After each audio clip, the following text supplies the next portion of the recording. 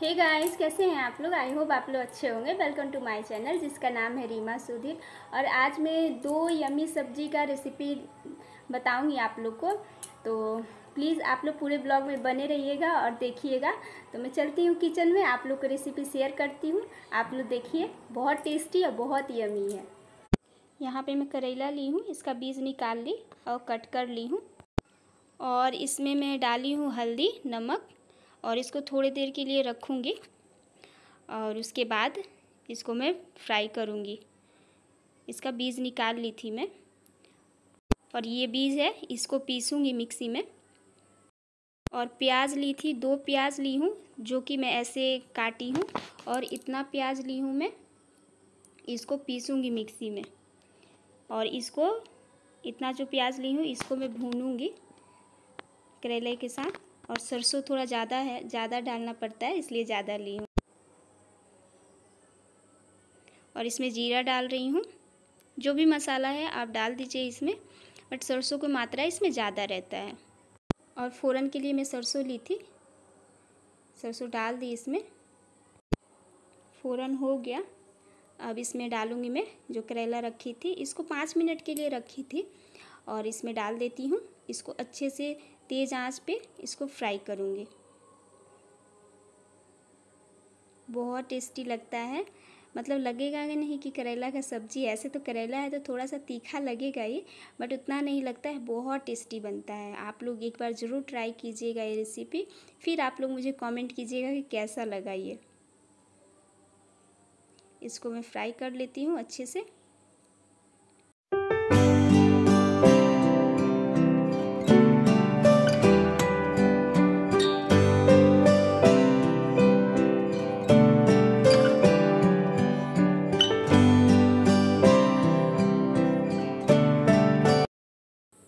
इसमें ये भुना गया करेला। देखिए कितनी अच्छे से भुना गया है। और इसमें प्याज डाल दी। प्याज को भी थोड़ी सी इसमें भूनूँगी, इसके साथ भून लेती हूँ।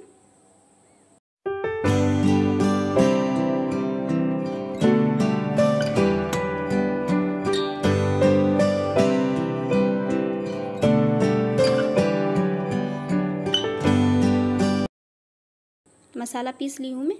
प्याज और जितने मसाले थे, इसको सरसों जो डाली हूँ, इसको मतलब मैं थोड़ा दरदरा करके पीसी हूँ। दरदरा करके पीसने से बहुत टेस्टी लगता है। मैं ही ज़्यादा नहीं की हूँ मैं। और यहाँ पे प्याज डाल दी मैं। पहले प्याज को हल्का भून ली और उसके बाद सारे मसाले डाल दी हूँ।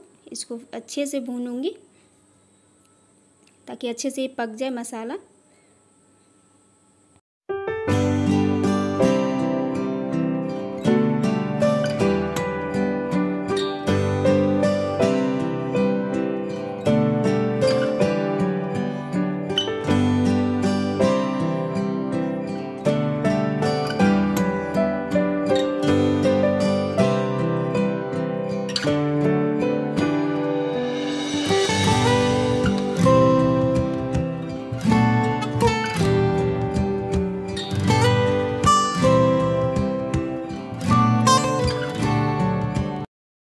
मसाला भुना गया, इसमें नमक डाल देती हूँ। नमक डाल दी। इसके बाद जो करेला भून के रखी थी, करेला प्याज, इसको डाल दी इसमें। और थोड़ी देर तक, बस दो मिनट तक इसको इस पर रखूँगी, गैस पे। उसके बाद इसको उतार दूँगी। बस बन गया मेरा करेला का सब्ज़ी। आप लोग ज़रूर बताइएगा कैसा लगा ये रेसिपी करेला का। देखिए, बहुत टेस्टी बना है, बहुत टेस्टी। और आलू का भी सब्ज़ी बना रही हूँ तो आलू, छोटा आलू मैं ली हूँ, इसको मैं छील के ऐसे मतलब इससे चम्मच से मैं इसको छेद कर ली हूँ इसमें।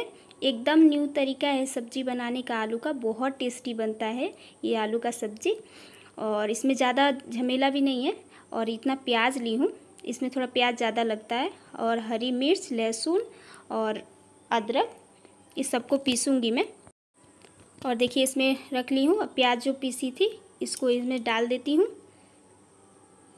और इस सबको जितने मसाले पीसी थी, अब मतलब जितने मसाले हैं, सब कुछ डाली हूँ मैं।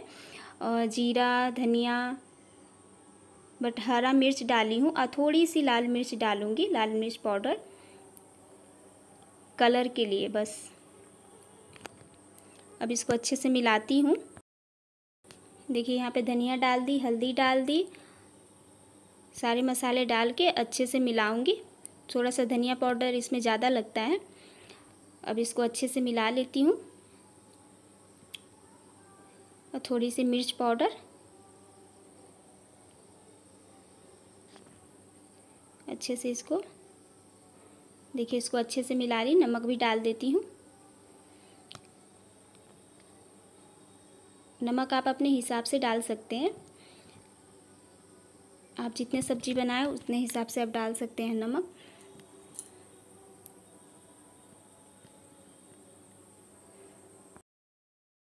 और थोड़ी सी तेल डाल दी इसमें। बस अब इसको मिलाकर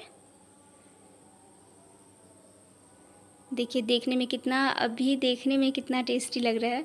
बनने के बाद और टेस्टी यमी देखने में लगेगा। तो आप लोग को मैं दिखाती हूँ, इसे कैसे बनाएँगे। देखिए। और फ़ोरन में मैं ली हूँ पाँच फ़ोरन और तेज़पत्ता। तेल को गरम कर ली थी मैं, गैस पे से उतार दी हूँ। मतलब फ़ोरन को नहीं जलाना है। और इसके बाद जो मिक्स करके रखी हूँ आलू मसाला, सब इसको डाल देती हूँ इसमें।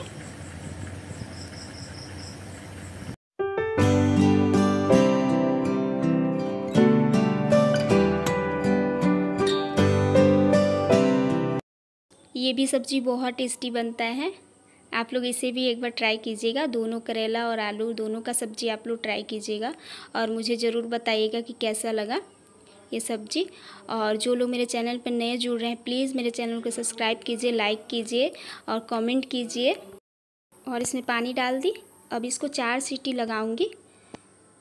बस आप जितना मतलब इसमें आप जितना पसंद करते हैं पानी इसमें तरी, उतना रख सकते हैं आप। हम लोग को ज़्यादा पसंद है, इसलिए थोड़ा सा ज़्यादा पानी डाली हूँ। बस चार सीटी हो, लगाऊँगी, बस हो जाएगा सब्ज़ी। तो आप लोग को दिखाती हूँ, बन जाता है तो। ये देखिए सब्ज़ी मेरा बन गया। बहुत टेस्टी बना है। देखने में बहुत टेस्टी लग रहा है। खाने में भी टेस्टी लगेगा क्योंकि मैं काफ़ी बार बना चुकी हूँ ये सब्ज़ी। बहुत टेस्टी लगता है। तो आप लोग ज़रूर ट्राई कीजिएगा। और कैसा लगा ये रेसिपी आप लोग ज़रूर मुझे बताइएगा। अब प्लीज़ प्लीज़ आप लोग मेरे चैनल को सब्सक्राइब कीजिए, लाइक कीजिए, कमेंट कीजिए।